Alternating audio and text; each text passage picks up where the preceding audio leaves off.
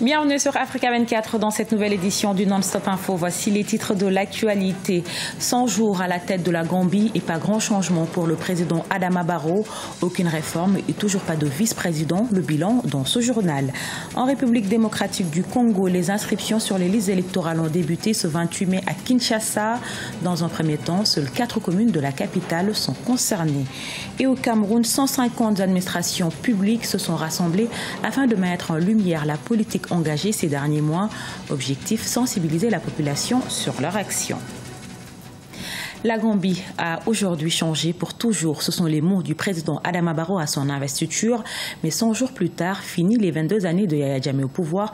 Mais tout reste encore à prouver. Les premières réformes sont toujours attendues. Le bilan du président Adama Barrow à 100 jours, un sujet de Sharon Kamara.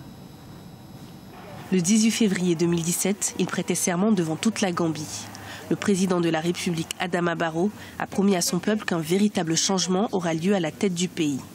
Après 22 ans de règne sans partage de Yaya Jammeh, les Gambiens ont alors fondé beaucoup d'espoir sur le nouveau gouvernement. Quand on a beaucoup d'espoir envers quelque chose, on est forcément fatalement déçu. Il ne faut pas oublier que la Gambie, il faut nettoyer la Gambie. La Gambie, il y a beaucoup de personnes qui sont aujourd'hui à des endroits stratégiques de la vie économique, de la vie politique de l'armée et que tout ça, ce n'est pas simple, il faut remettre de l'ordre à l'intérieur.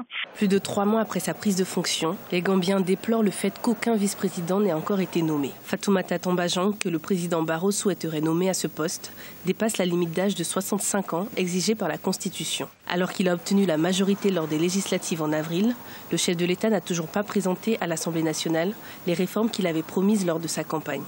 Quand on voit d'où vient la Gambie, les espoirs étaient énormes. Maintenant, euh, il faut se poser la question, approchant aussi des Gambiens, est-ce qu'aujourd'hui, le fait de pouvoir parler librement n'est pas une avancée pour eux? Euh, Est-ce que le fait de pouvoir se déplacer librement, de ne plus craindre l'armée, est-ce que ce n'est pas une avancée pour eux? Et euh, donc, il y a pas mal de choses qui ont été faites, mais c'est clair que l'espoir était très grand, et quoi qu'il aurait pu faire, ça n'aurait été jamais suffisant. 100 jours après son investiture, le bilan du président Adama Barrow divise les Gambiens.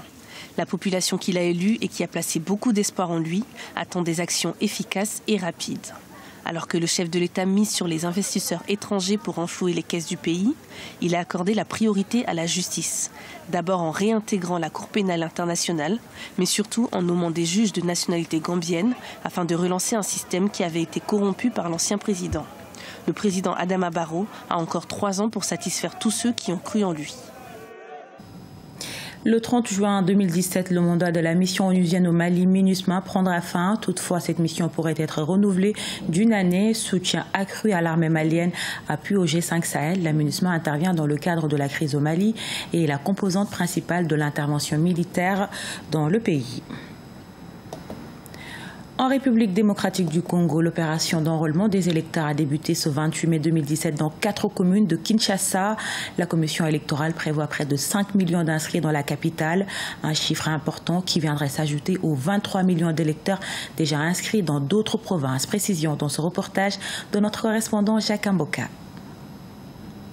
La Commission électorale nationale indépendante a lancé ce dimanche 28 mai à Kinshasa l'enrôlement des électeurs.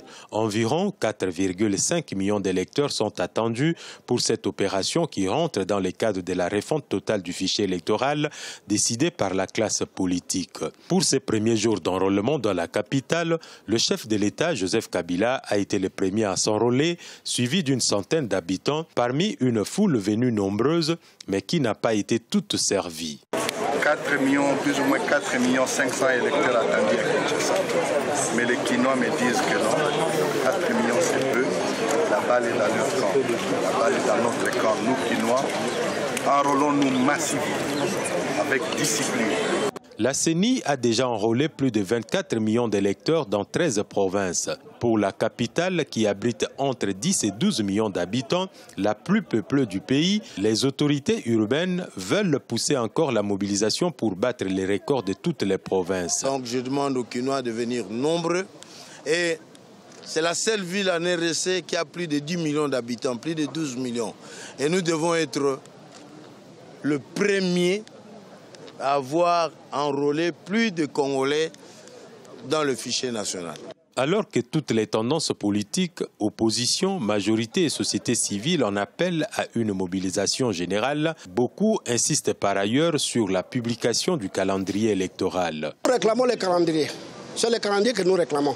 On ne peut pas nous faire avancer comme des enfants. Il faut qu'on sache ça commence où, ça va se terminer quand. Il faut qu'on sache cela. Pourquoi ils sont mis à ce sujet? Il y a des agendas cachés et c'est comme ça que nous dénonçons avant. La première phase d'enrôlement lancée ce dimanche 28 mai à Kinshasa ne concerne que quatre communes.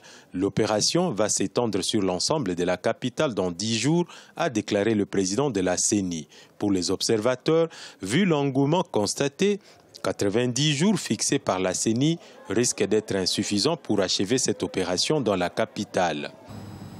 Par ailleurs, en République démocratique du Congo, neuf hauts responsables accusés de violation des droits de l'homme officiellement sanctionnés par l'Union européenne, prise ce 29 mai. Ces décisions viennent en réponse aux entraves au processus électoral et aux violations des droits de l'homme qui étaient liées. Et parmi les personnes sanctionnées, le porte-parole du gouvernement Lambert Mende ou encore le chef des renseignements congolais, Kalev Moutonde, désormais interdit de voyage dans l'Union européenne et leur avoir ayant été gelé. La vitrine du Cameroun, c'est le nouveau nom du Salon de l'action gouvernementale qui s'achève ce 30 mai à Yaoundé au Cameroun. En marge de cet événement, 150 administrations publiques se sont rassemblées afin de mettre en lumière la politique engagée ces derniers mois. Objectif, sensibiliser la population sur leur action. Reportage de notre correspondante Viviane Baoken. La vitrine du Cameroun, Sago, a réuni le 24 mai à Yaoundé près de 150 administrations publiques et parapubliques.